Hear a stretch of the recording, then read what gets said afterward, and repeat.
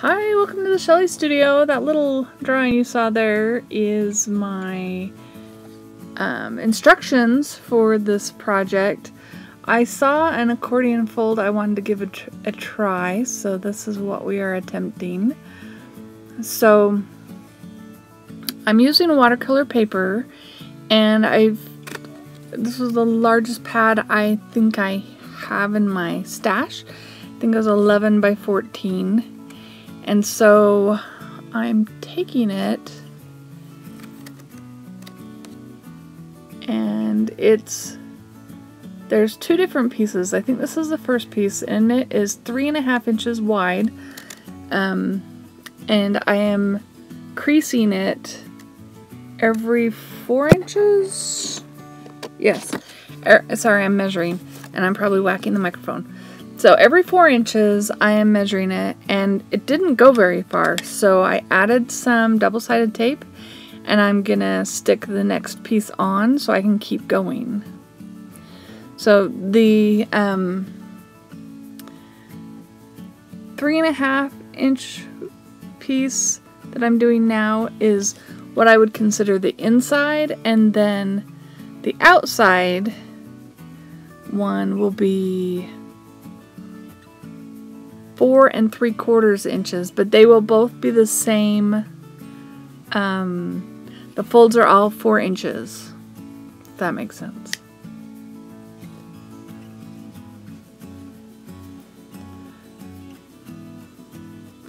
So I just stuck those together and I'm just going to continue four inches from the last crease I made.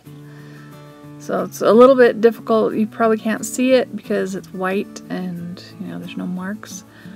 But I'm just going every four inches and I'm scoring the paper so that it'll have a nice straight fold. And I probably said the reason I'm going so slowly, even though this is sped up, is because I want to make sure it's straight. And I'm not very good at perfection. So here I'm like, okay, that's not going to add up to four inches now. So I've got to figure out where we want this to be.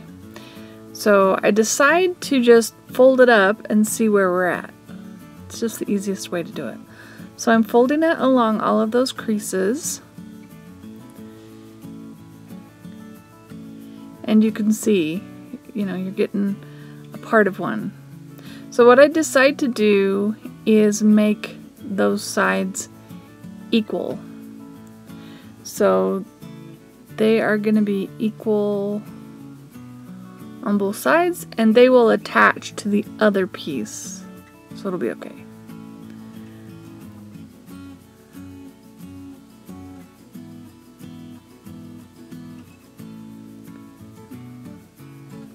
I'm going to do the same thing on this side.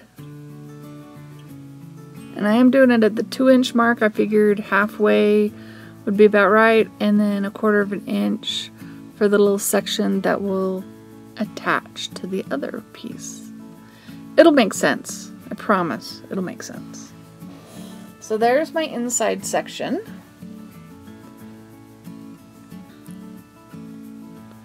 I'm just creasing it really good, or trying to. And we're going to set that aside, I believe, and do the next section. And then next section is still the length of the paper and it is four and three quarters inch and then it was folded at four inches as well. So now I'm I'm measuring this so that I can determine how big of an opening I need to have in my larger panels because they're gonna insert inside. So my inside again was three and a half, but I want there to be a little bit because I'm gonna cut a groove into it to hold them into place. So I'm to make the opening three inches even. That will give us a half an inch to play with. So that'll give us a quarter of an inch on either side. So I'm just um, so I have three quarters of an inch on both sides and then three quarters of an inch from the fold on one side of the fold and then I'm going to cut it off on the other side of the fold. And gosh, um, if I'm not confusing you, that's good. You're pretty smart because I think I would be confused at this point. But you can see I've got the pencil marks in there. I've left one solid flap and then the two mountain folds are the ones that are being cut. Hopefully that helps. Mountain is the ones that go up when you're laying the paper down, go up in the air, and the valley folds are the ones that go down. And they go up on either side, so we have two side flaps going up and then two mountain folds, and those are what we're cutting clear as mud, I'm sure. But it was really fun. Once I got it done, like, you can hear me over here. I'm like, opening and shutting this thing is so much fun. anyway, yeah. So, I'm just using my X-Acto knife that needs a blade change and going through the two mountain folds.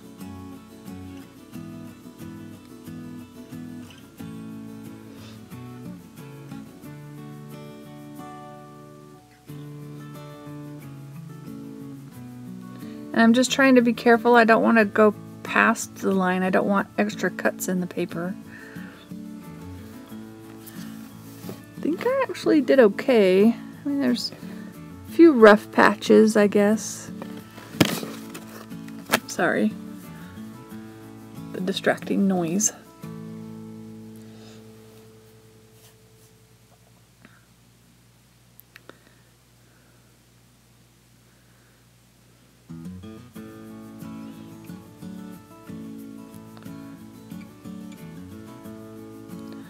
So hopefully by seeing what I've cut out there, what I said makes sense, I hope. And that was a half half an inch on both sides and at the one fold end, the valley fold end.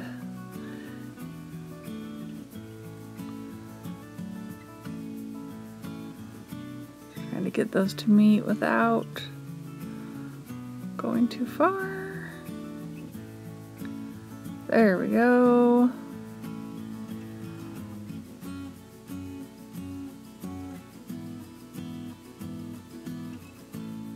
So there you can see it's the mountain folds.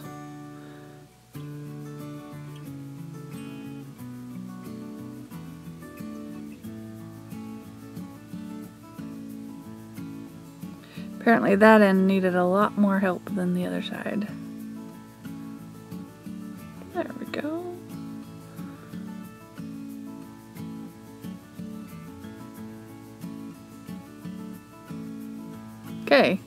So we have our zigzag, and now we're going to determine where we should put the little grooves so that our other one will fit in there.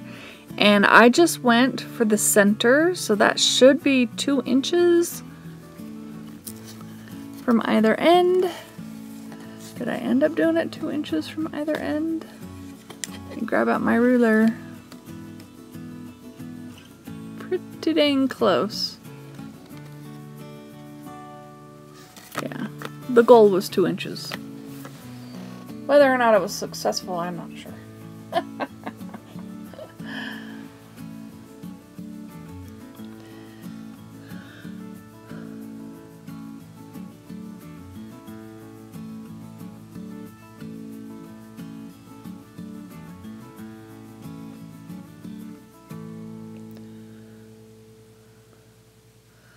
So I'm marking that on top and bottom on each of those four panels. So both sides of the window on both of those sections.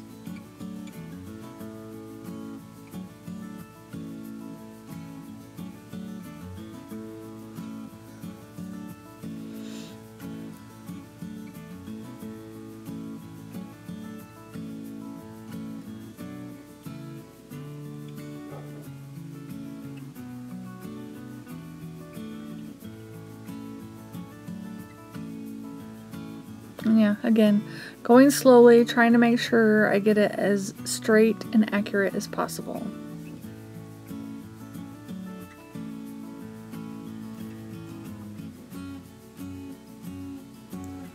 Okay, so this part, I'm just going to take out a quarter of an inch long segment.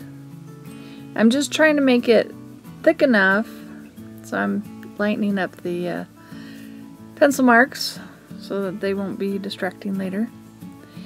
And I'm just to do a quarter of an inch long and just a little bit of a gap, just enough for that paper to go through smoothly without any problems.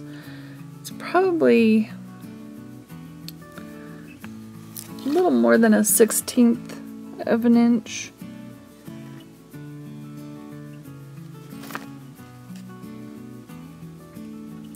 It's not quite an eighth of an inch.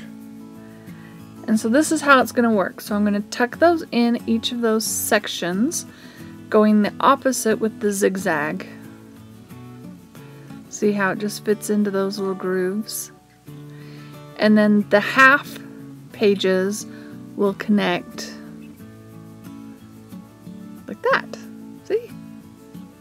There is my zigzag accordion fold. Alright, so now that I figured that out, we want to add some fun colored paper. Okay, so I went ahead, so you weren't watching me. I picked two complementary, contrasting, complementary colors on the color wheel and um, grabbed out some of my jelly print papers and pre-cut them to size. So I just made them a little bit smaller all around to leave maybe an eighth of an inch border. They're not perfect, but uh, um, yeah, so that's what I did just to give it a white border around every panel. And I left all this in because the I think when you take like a jelly print that doesn't look like much and you cut it down to just a section, I think they're so pretty. maybe it's just me, maybe I'm a little biased.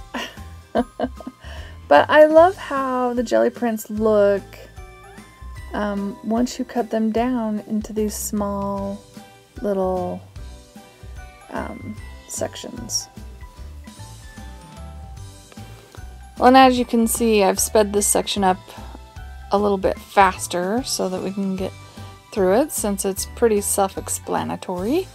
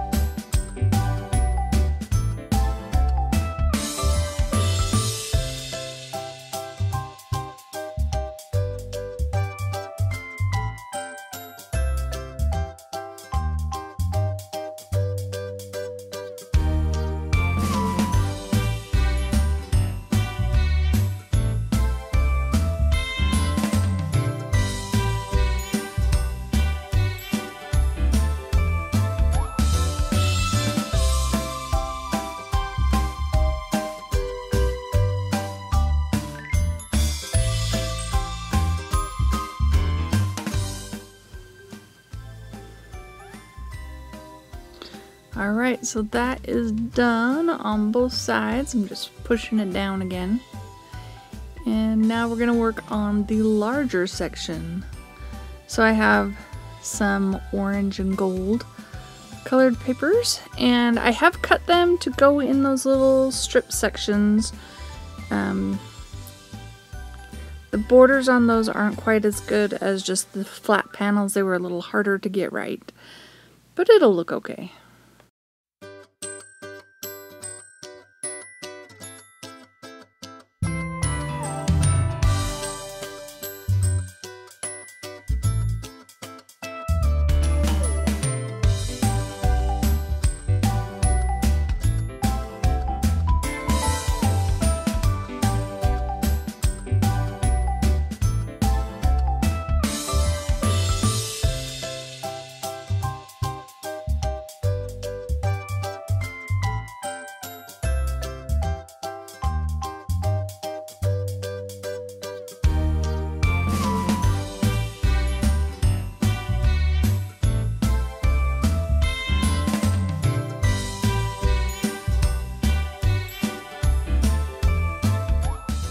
Like this spot right here, I didn't leave enough space to get a white gap in between. But it won't really be noticeable, like it'll look purposeful. Unless you're looking closely. Alright, so now we're getting that back in place. Just squishing it in and out. I want to make sure they're lined up just right before I adhere those to the outside panel.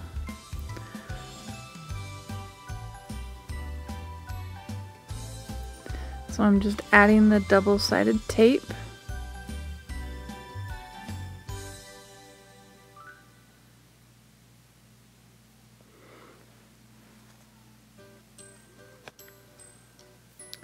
So I'm adding it to both sides just to be ready. That had a little bit, like it, you know, it's a jelly print. It had a little loose piece of paper, so I just glued it down. It'll mostly, mostly be hidden by my little panel. Watching this, I think I could have gotten that a little bit straighter, but it looks pretty good. I mean, you can't tell. There's just a little bit crookedness. But yeah, I hope, uh, isn't that fun? That's so much fun. I do that quite a few times, but I don't make you watch. Alright, so now we want something on the outside, right? So I used up three different sheets of gel printed papers and I didn't have anything else quite the same.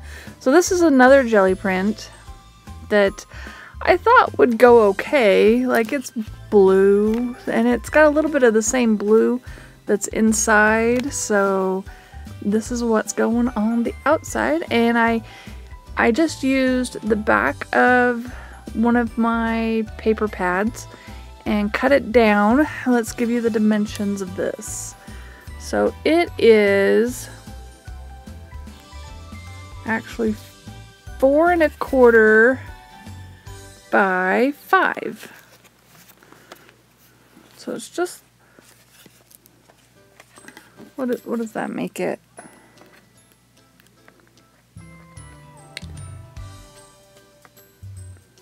It's really only a quarter inch longer. And I think a half an inch. Let's see. Yeah and about a half an inch. Yeah so a quarter of an inch wider and a half an inch taller than the original book. And I do have and I don't know what I was thinking. I if I if I did it again, I'd make it a li I'd make it more than four and a quarter. I'd probably would would go for four and a half because one side is all the way up to the edge and the other has a little bit of a lip. So you could do it where it's all up to the edge or if you want to have that lip around, the quarter of an inch lip around. Um, yeah around the whole book.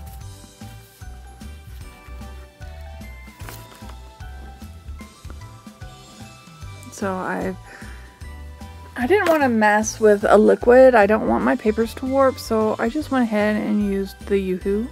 It seems to be working just fine. I'm pre-creasing all of my edges to make it easier when I get down to gluing it. And the corners I did trim off a little bit, just barely longer than the depth of the chipboard I'm using.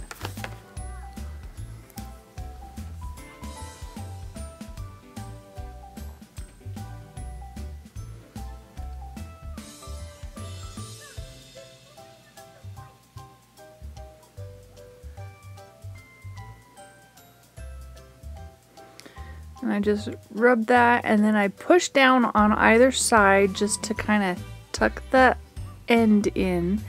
And that helps cover the corners so you don't have any of the chipboard showing on the corners. So see here, I just push that in.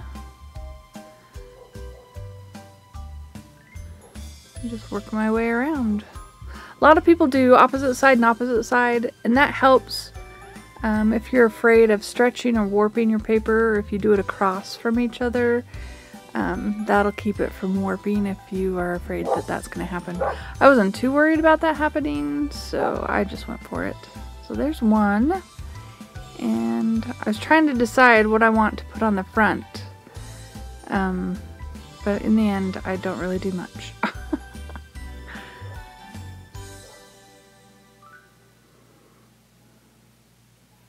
okay, so for this part, I am using a liquid glue. I'm using Aleene's Tacky Glue. And I'm just going to use my finger and make sure it goes all the way to the edges because I don't want any of the edges pulling up. And then I just smooth out the stuff in the middle because I don't want any bumps. It's watercolor paper. I think it's, what, 140 pound paper. It's not going to show any of that, but I did that just in case. So I've got that on. I don't know if you can tell. I have it up against one edge on the long side and then centered everywhere else. And we're going to do the same thing on this.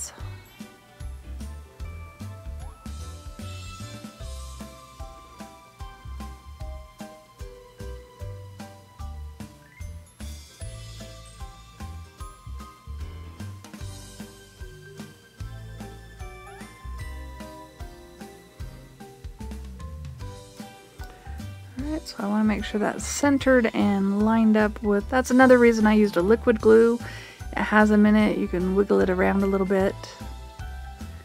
And I'm just going to push it all down, make sure it's good and touching everywhere. And then set it aside. And now it is good to go.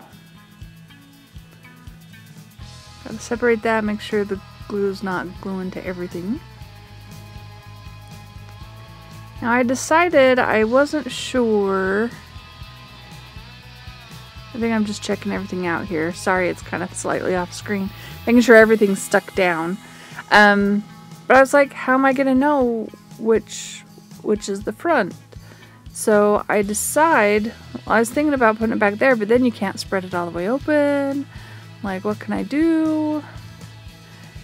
And so I decide to just do a circle punch and then do half on the front and half on the back and have it on the front side, front end, the wider end, you know, when you open it, the better side, um, so that I would know which end to open. Not that it matters. That's what I decided. I'm just to glue that on with the glue stick. And oh my gosh, I I am in love with my little accordion book. I mean, it was a little bit of work, but actually, you know, without having instructions and just seeing a zigzag book, I think it turned out pretty good. I'll have some close-ups at the end so you can see the papers or maybe some of the details. Anyways, if you're still here, I hope you liked this video. If you did, give me a thumbs up, leave me a comment, share it with your friends, pin it on Pinterest, do all the things. you know what I mean. And I'd like to thank you all for watching. Have an awesome day.